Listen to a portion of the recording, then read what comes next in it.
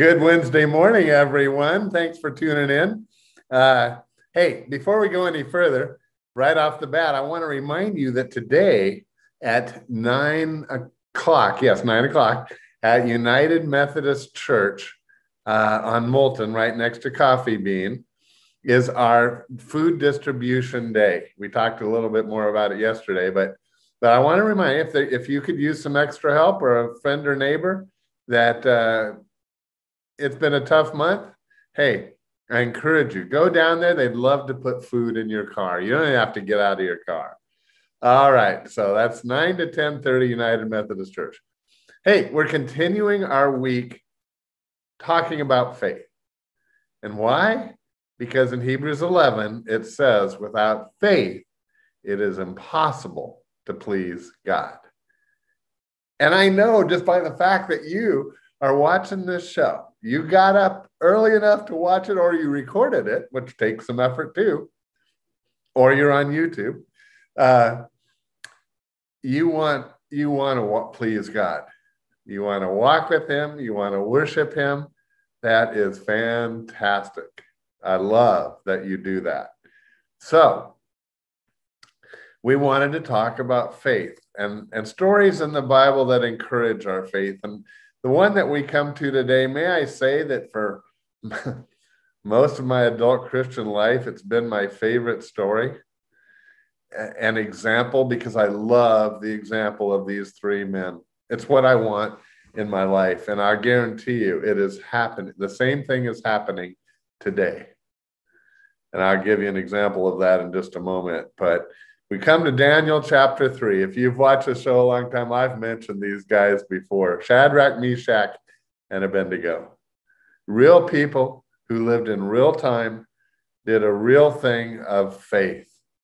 You probably already know the story when I mentioned their name. That's okay, because we need to be reminded. Now, the story is, and the fact, what thing that happened is Israel uh, were, was in captivity to the Babylonians around 600 BC. And it came about, I'm not going to go through the whole story, but King Nebuchadnezzar was the king at that point in time. And he got convinced, they made a golden idol in his image. And it was decreed that everyone must bow down and worship this idol. But Shadrach, Meshach, and Abednego, they say to him, it doesn't matter what you say, we're not going to bow down and worship. We worship the Lord our God only, only. And he responds, Well, when you tell a dictator that, that you refuse to do what he decrees for you to do, what's the response? it's not good. It's not good. They make it as hard on the person as they possibly can. And they say, O Nebuchadnezzar, we do not need to defend ourselves before you in this matter, because he said, I'm going to throw you into a fiery furnace. And they say, chapter 3 of Daniel, verse 17 says, If we are thrown into the blazing furnace, the God we serve is able, is able to save us from it. And he will rescue us from your hand, O king. But even if he does not, we want you to know that we will not serve your gods or worship the image of gold that you have set up. Don't you love their faith? That is a, a faith that they're willing to die for. Because they say, admit, he says, our God is certainly able to save us.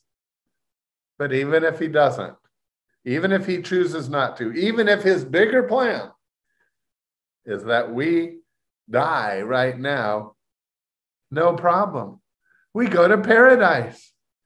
You can't touch us in paradise, O king. No way, no way, no how.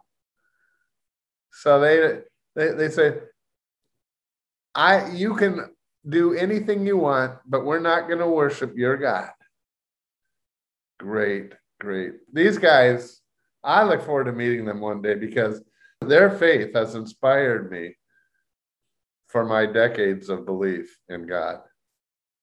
I just love the way that they have responded to the king. Well, you know what the king said. Okay, you want to play that game? He says, if you read on down through the next paragraph, I'm going to heat that furnace seven times hotter than it's ever been before. It's so hot that the people that put them in there, they got singed themselves. But you know the end of the story. In this particular case, God did choose to, to spare their lives. And the pre incarnate Christ, Jesus, came and walked in there with them.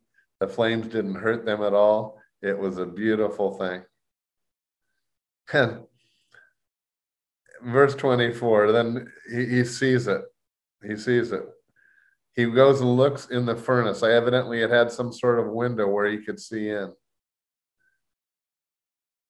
Verse 24 King Nebuchadnezzar leaped to his feet in amazement and asked his but weren't there three men that we tied up and threw into the fire? They went, Certainly, O king. And he said, Look, I see four men walking around in the fire, unbound and unharmed, and the fourth looks like the Son of God pre incarnate Christ. He came and showed up right with Shadrach, Meshach, and Abednego because he was able, and in this case, the, the best thing, obviously, was for him to spare these men. That we can, our faith can grow because we see how they gave they gave their life. It's just that god chose to spare it.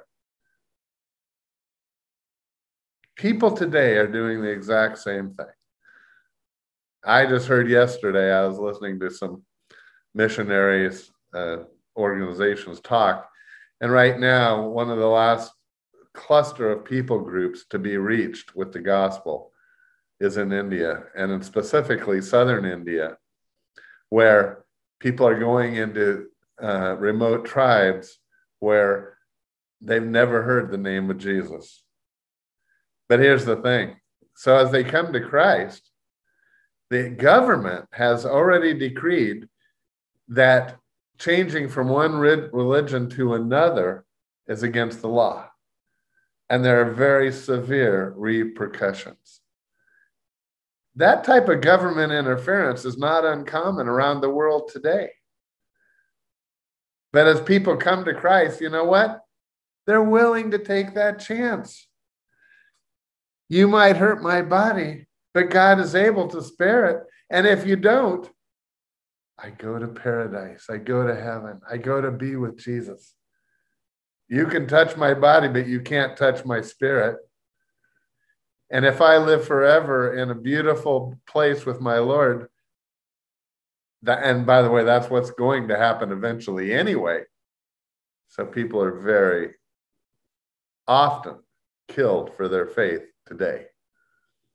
Just like it was Shadrach, Meshach, and Abednego some 2,600 years ago. Wow. Don't you get inspired? I, I, I know I do. I, I don't know if we'll ever be called to, to give our lives for our faith or not. It, it appears not, but you never know. You know, uh, it, it, it's like I say, it's still happening.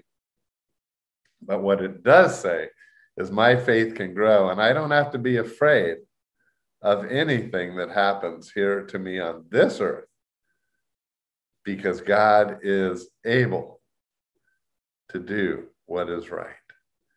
That's our verse for the day. Verse 18 Even if he does not, we want you to know, King, we will not serve your gods or worship the image you have set up Wow. inspiring. Build your faith. We're going to build your faith again tomorrow. I hope you'll join us. See you then. Bye. God bless. Walk closely with your Lord today.